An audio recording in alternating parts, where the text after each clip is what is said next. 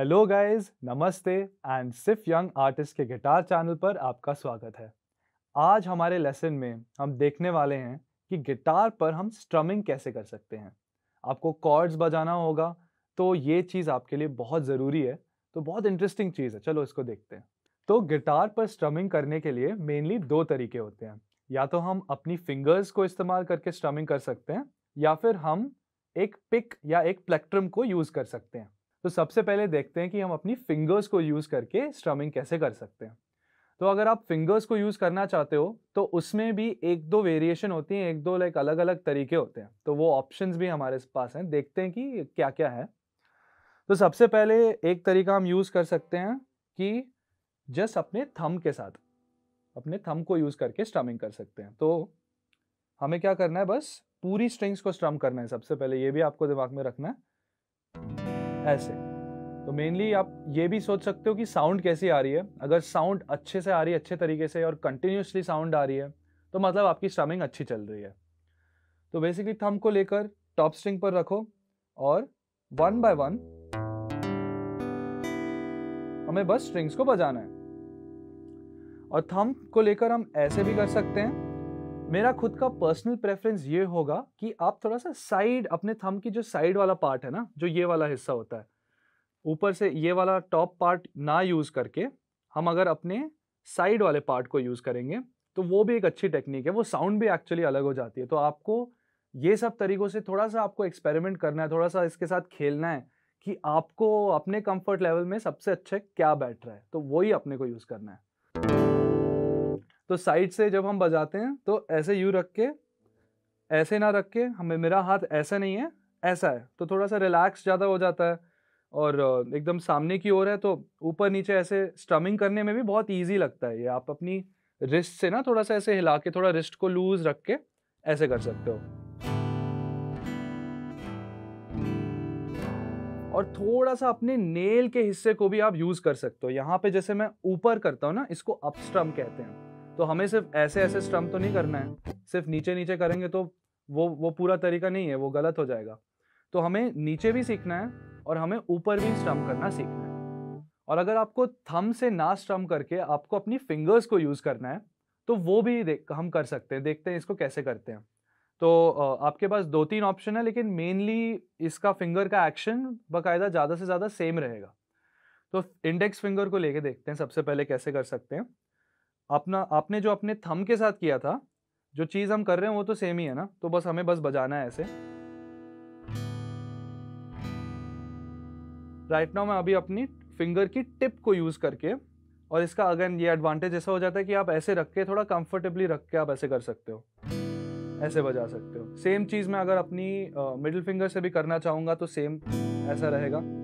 मैं सिर्फ़ अपनी फिंगर टिप का इस्तेमाल कर रहा हूँ। और लाइटली पूरी स्ट्रिंग्स को टच करके, ऐसे बस टच करके निकलना है। आपको ये नहीं करना है कि एकदम दबा के या फिर ज़्यादा एफर्ट नहीं लगाना है और आपको ये मतलब एकदम लाइटली करना है। सबसे बेस्ट यही है कि आप सुनते रहो, आवाज़ कैसी आ रही है। अगर आपको ऐसी आवाज़ आ रही है तो मतलब आपका स्ट्रमिंग बढ़िया चल रहा है। और लास्ट एक टेक्निक मैं आपको बताना चाहूँगा, ये मेरे मेरे लिए पर्सनली ये मुझे बहुत अच्छा लगता है और मुझे मतलब नेचुरली ये कंफर्ट जोन में आ जाता है। तो आप भी इसको ट्राई कर सकते हो।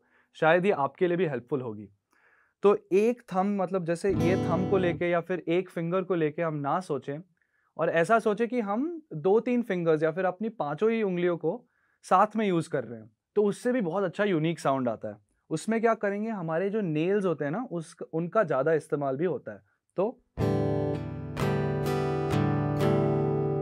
मैं क्या कर रहा हूँ, जब नीचे जो डाउन स्ट्रम कर रहा हूँ डाउन स्ट्रोक में, अपनी फोर फिंगर से, चारों उंगलियों से, ऐसे, अपने नेल से बजा रहा हूँ। और अप स्ट्रोक में मैं अपने थम के जो थम वाली उंगली का जो ये नेल होता है ना, उसको यूज़ करके मैं अप स्ट्रम बजा रहा हूँ। तो इसका साउंड मुझे पर्सनली बहुत अच्छा लगता है और जब हम अकूस्टिक गिटार कहीं बाहर बैठ के फ्रेंड्स में या कैंप फायर जैसी सेटिंग में करते हैं ना, तब उसका साउंड बहुत अच्छा आता है, क्योंकि काफ़ी लाउड आता है साउंड और सबको क्लियरली सुनाई भी देता है।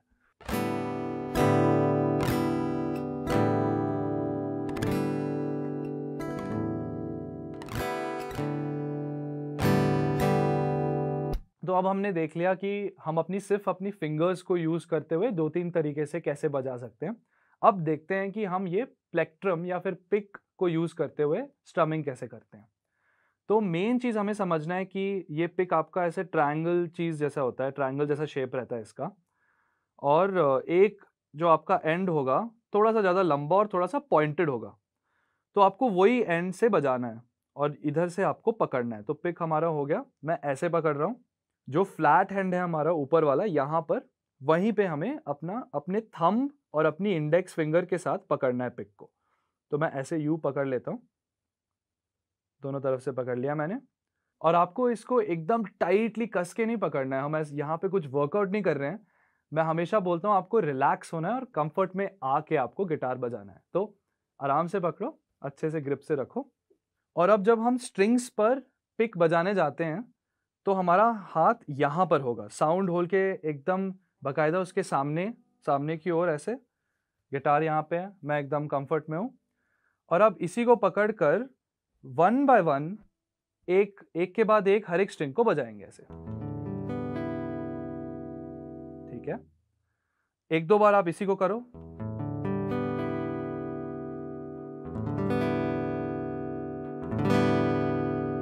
और इसमें जब आपका थोड़ा सा कंफर्ट आ जाता है, तब आप पूरी छह स्ट्रिंग्स को एक साथ बजाने की कोशिश करें।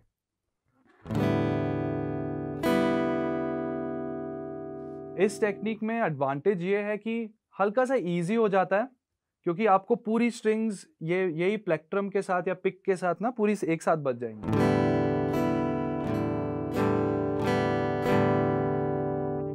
और गाइज़ आपको ये भी चीज़ हमेशा दिमाग में रखनी है कि ऐसा कोई 100% राइट या 100% रॉन्ग तरीका नहीं होता है। स्पेशली जब हम ये छोटी छोटी चीज़ों को देखते हैं कि हम पिक कैसे पकड़ रहे हैं या फिर गिटार को हम एग्जैक्टली exactly कैसे पकड़ रहे हैं।